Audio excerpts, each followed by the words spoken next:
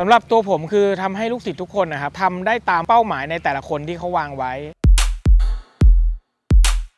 สำหรับนักกีฬาครับผมมองว่าการที่เขาสำเร็จไปเรื่อยๆครับพัฒนาตัวเองไปแบบไม่หยุดยั้งอะไรเงี้ยผมจะมีความสุขมากๆในการที่ทำให้ทุกคนเนี่ยประสบความสำเร็จในสิ่งที่ตัวเองหวัง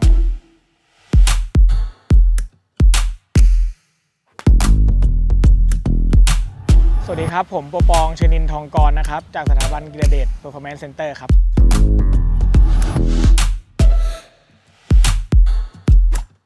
ผมมองว่ามันคือความท้าทายนะครับ มันเหมือนว่าเราเวลาเราอยู่ในสนามเนี่ยครับเหมือนเราเริ่มใหม่เลยครั้งแรก เราตีไม่โดน เราก็รู้สึกว่าเฮ้ยเราจะทำไงให้มันตีโดนก่อนใช่ไหมครับครั้งแรกในตอนเด็ก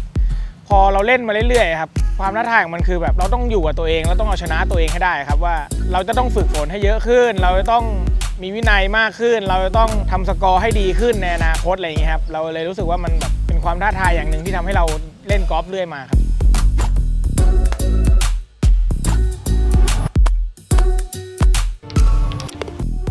ำหรับคนเล่นกอล์ฟอะครับมันต้องมีวินัยในระดับหนึ่งแต่ต้องดูก่อนว่า ในที่เราเล่นกอล์ฟเนี่ยเราเล่นเพื่ออะไรก่อนนะครับสำหรับคนที่เล่นเป็นกีฬา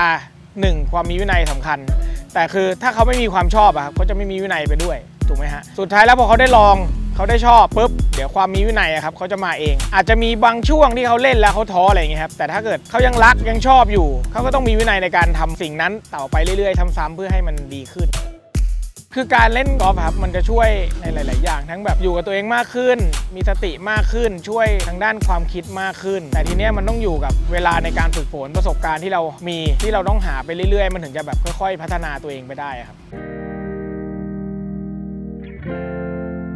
วันที่แย่สำหรับผมมันแย่มากเลยครับ วันที่เราเล่นแล้วมันไม่เป็นดั่งใจครับ มันเหมือนเราควบคุมสมาธิอะไรไม่ได้เลย คือเวลาอยู่ในสนามครับระยะเวลาประมาณ 5-6 ชั่วโมง เราไม่มีสติในการที่จะแบบควบคุมตัวเองเลยวันนั้นทำอะไรก็ไม่ดี เราเลยรู้สึกว่าแบบถ้าเรามาเป็นโค้ชเนี่ยเราจะอธิบายให้เขาเข้าใจว่าไงเวเวลาที่เขามันไม่ดีเลย เพราะว่าตอนนั้นเราเองเราก็ควบคุมไม่ได้ถูกไหมครับเราก็เลยรู้สึกว่าในวันที่แย่เราเรียนรู้จากวันที่แย่แล้วเราเอาประสบการณ์ในวันที่แย่ของเรามาก ๆ มาถ่ายทอดให้ลูกศิษย์ทุกคนได้รู้ไงครับเขาจะได้รับมือได้ ไม่มากก็น้อย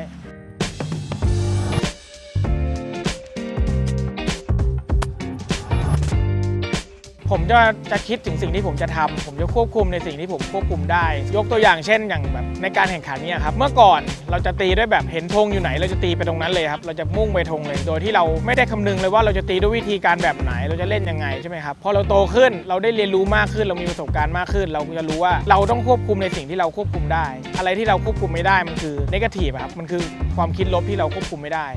พอเราควบคุมในสิ่งที่เราควบคุมได้เราจะอยู่กับช็อตช็อตนั้นใช่ไหมครับเราก็จะเล่นช็อตนั้นออกไปได้ดี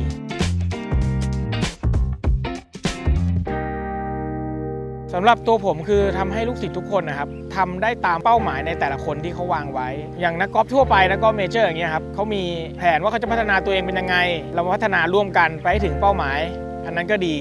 แต่สำหรับนักกีฬาครับ ผมมองว่า